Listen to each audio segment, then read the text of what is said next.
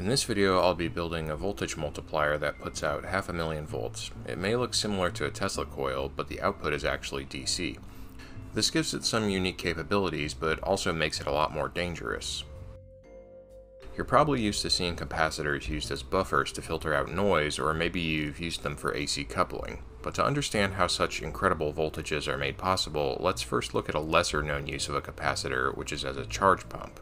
Suppose you took a capacitor and charged it up to 12 volts. Then, you disconnected the ground side and applied 12 volts to it. Well, now you just have two plates charged to 12 volts, and the capacitor has 0 volts across it.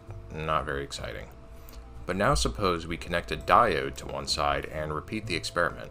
Like before, one side is connected to 12 volts and one side is connected to ground. Then, the ground side is disconnected and 12 volts is applied to it.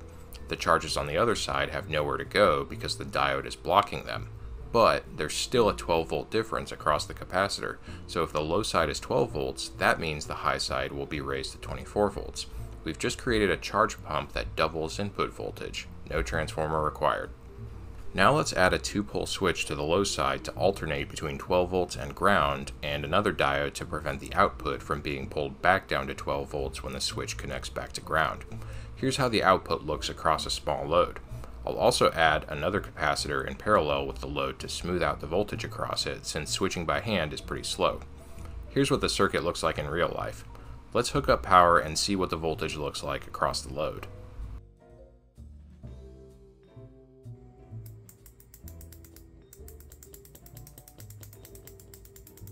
You may notice that the output isn't exactly double. That's because it has two diode voltage drops in series with the output. Each diode has a drop of around 0.7 volts. Rearranging the circuit a little bit, we can cascade a bunch of these charge pumps in series and get an even bigger output. The output voltage is approximately multiplied by the number of diode capacitor stages in the chain. In the case of my high voltage multiplier, I've got a 9000 volt input and 56 charge pump stages, so the output is a little over 500,000 volts. Okay, let's put it together now. I'm going to arrange all my capacitors and diodes on a 3D printed rack, and the rack will be potted in epoxy, which will provide electrical insulation, since it has a dielectric strength around 10 times that of air. Here's the finished rack with all 56 capacitors and diodes. Then I attach some jacks that will allow the transformer to be plugged into the multiplier with banana plugs.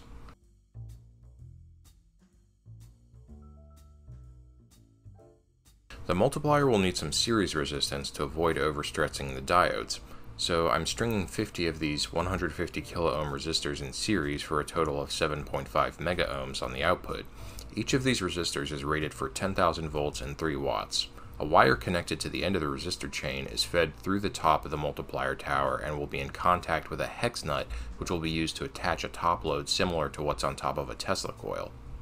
Okay, so now that the multiplier is done, it needs a high voltage AC supply to feed it, meaning I need to build a transformer.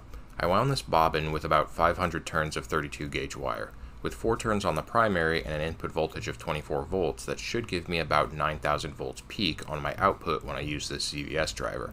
Let's fire it up and give it a try.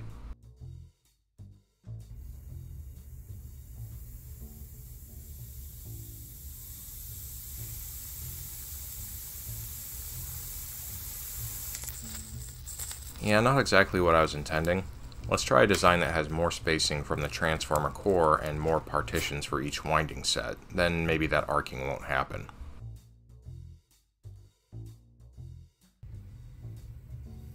Okay, here's attempt number two. That looked pretty cool, but the moment I stopped recording, it did the same thing and arced over.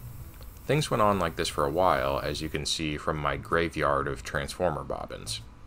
After doing a little research, I found that most small high voltage transformers have these notches in the fins like this so that when the wire runs from one winding set to another, it crosses up and diagonally so there's almost no contact with windings that would be at a way higher voltage and potentially arc. I also put a little cup around this one, filled it with epoxy, and degassed the epoxy in a vacuum chamber. Let's see if that works any better.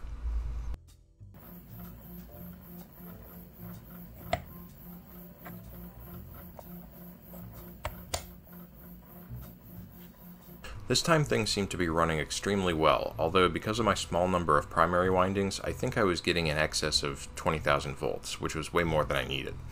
I was also running at well over 100 kHz, which was causing a tremendous amount of capacitive coupling to the transformer core. You can see this really clearly looking from the top down. The voltage isn't actually passing through the epoxy insulation, but the insulation is acting as a dielectric, causing charges to appear on the inside of the bobbin because of capacitance, and that's the arcing you see. Increasing the number of windings on the transformer primary will reduce the frequency and the voltage, which should mostly make these problems go away. Next, I printed this little tray that the transformer would fit snugly inside of, but also act as a barrier between the core and anything else nearby. I'm going to do a quick test to make sure everything works before I pour epoxy into the multiplier. I'm only giving my ZVS driver 8 volts, so theoretically the transformer should only be outputting 3000 volts, so the multiplier will be at one third of its designed voltage. It seemed to work perfectly fine, but for some reason the discharges were messing with my camera and they'd repeatedly turn it on and off mid-recording and slow down my frame rate. I guess the camera will probably need to be inside of a Faraday cage for this. After testing the multiplier, I poured the epoxy and let it cure. If you're going to try this, I recommend using an epoxy with a long cure time because mine cured so fast that it got really hot and caused the structure to warp as you can see from this little bend. Now we'll need some sort of top load to act as a capacitor relative to ground. Without this, I'll just have a whole bunch of low current corona discharge from the output, but with the capacitor, it'll bottle up some voltage and then arc with almost zero impedance, which should make for better sparks. I 3D printed a toroidal top load that's made up of 8 segments. This is exactly the same shape you commonly see on top of a Tesla coil. It's also a pretty decent dog collar. Once everything is glued together, I cover it with foil tape and roll a solid metal ball over all that to try and work out some of the creases. Then I screw it on, and here's how the tower looks when it's finished. I put my transformer, ZVS drive, and a battery compartment inside of a plastic box. The whole system will run off 24 volts from a 6-cell LiPo battery. The bottom of the box is covered in foil tape to serve as a ground plane because all these charges need to have a really good ground reference or else really bad things can happen within the circuit or to your power supply. The whole circuit is energized by turning on a relay which is controlled by a switch box on several feet of wire so that I don't have to be right next to the tower when it's energized with half a million volts. The coil is meant for 12 volts, but having some LEDs and resistors in series with the relay coil to serve as status lights, I can safely operate it with 24 volts.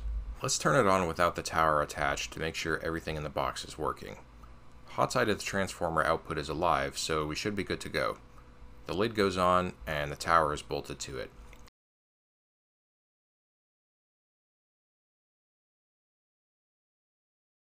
I also added this magnetic hatch for the battery compartment, which is pretty convenient.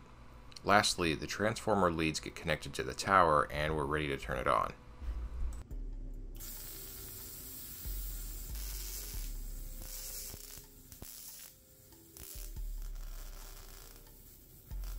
It seems to output plenty of voltage, but not quite from where I intended.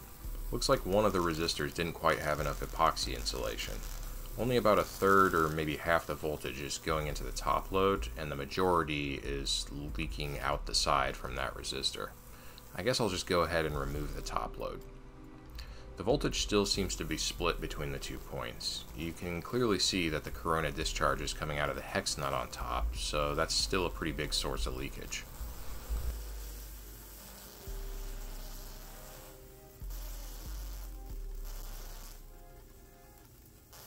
So I sawed down the tower right below the leaky resistor and added an outer shell to provide more epoxy to insulate the resistors since they were probably too close to the walls. Then I added a little cap and a really large diameter insulator for the wire feed through, then reinstalled the top load. Now there were two more resistors that were leaking. I guess I should have just made the extra insulation cover all of them. The top load discharges were still really weak from all the leakage. This was improved slightly with a spherical electrode, which causes less charge leakage because it didn't have any pointy edge, but overall the top load output was still pretty bad. Here's the aftermath of the arcing out of the side. So I went ahead and just sawed off the whole resistor section of the tower, which left me with only the multiplier itself. This wouldn't have any current limiting on the output, which was likely to damage the high voltage diodes, but I wanted to see what this device could do without all the leakage.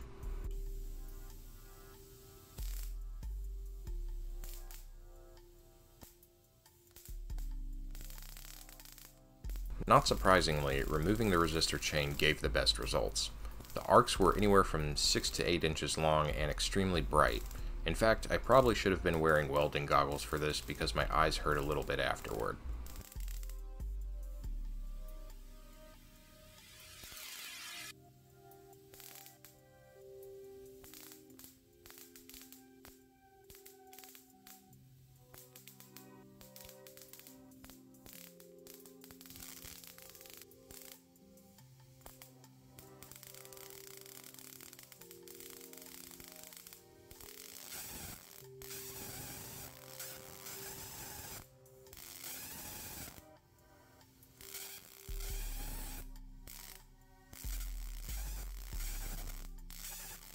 You definitely want to be careful if you try to make one of these. The obvious hazard is the electric shock, but there's also a little bit of arc flash hazard from the extremely bright sparks.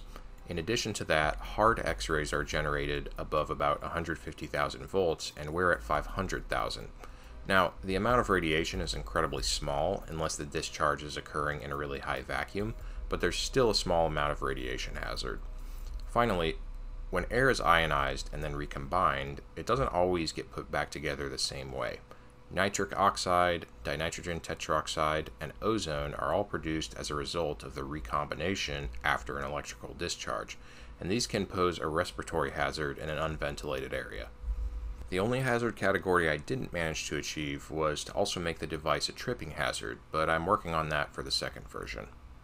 As much as I love big arcs, I really wanted to do this project for high-powered electrostatic experiments, but I got sidetracked by fixing all the bugs with the device.